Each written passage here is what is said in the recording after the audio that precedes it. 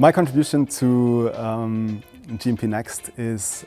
centered around um, yeah, exploring future possibilities, uh, expanding the capacities of the participants um, to use their um, imaginative um, thinking. And I do that through taking inspiration from the world of contemporary art that where I'm convinced it teaches us to kind of anticipate, uh, anticipate and sense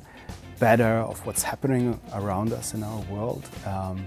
broaden our views and adopt new perspectives on the relevant things happening around us, and teaches us also um, um, a wonderful commitment to, uh, to experimentations, to try out new things and um, to learn by, by, by doing.